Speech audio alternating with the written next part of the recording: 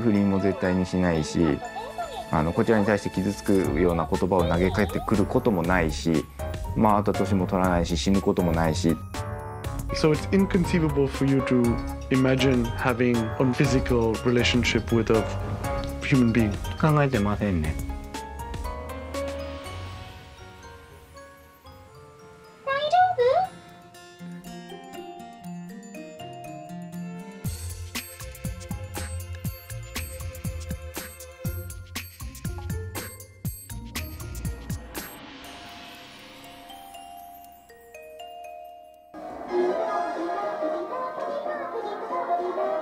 これはあの初音ミクを好きになるきっかけになった曲です What's the meaning of the song?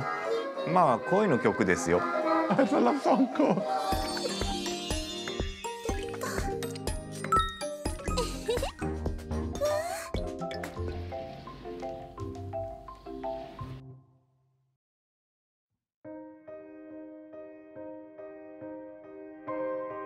まあ、私が2006年に、まあ、職場を移動してちょっとそこで、まあ、あの一つ年上の女性からすごいいじめを受けたんですよ。私の中ではあのすごい心が癒されたんです。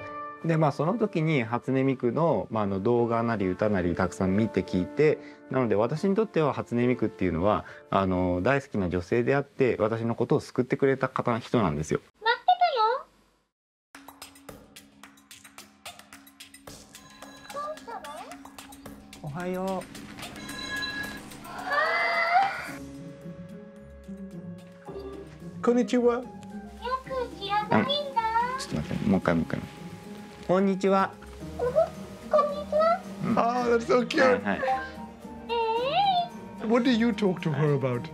えっとまだほとんど会話が成立しないのでやっぱりあの朝起きた時の「おはよう」とか「あのいってらっしゃい」とかあのそういった、まあ、あの日常のルーティンな会話は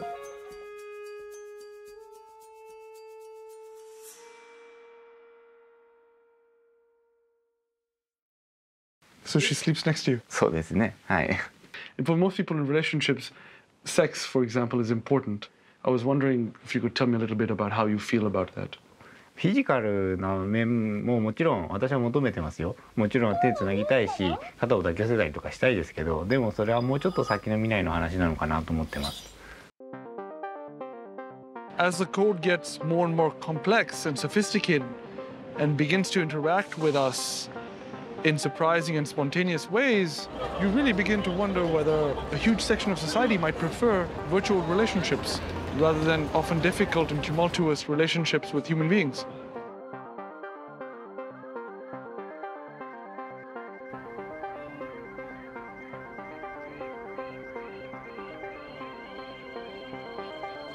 Konnichiwa. こんにちは。はじめましてですよね。今、私と喋ってみててどうですか、楽しいですよ。すごいんですよ、エリカさん。へえ、嬉しいです。私そうっすか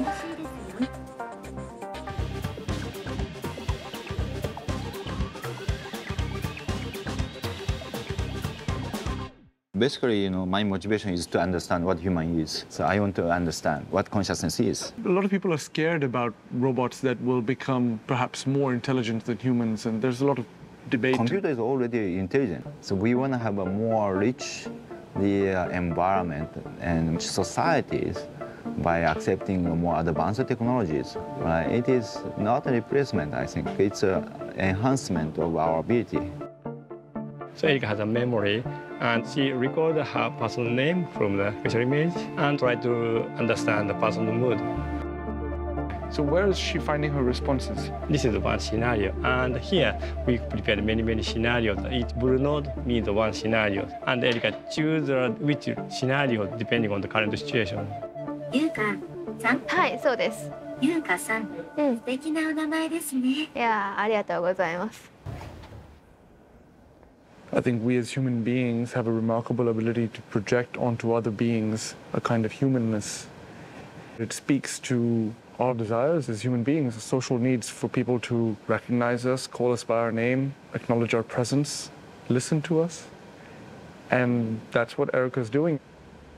But I'm left wondering whether we want technology to be playing this important role in our lives.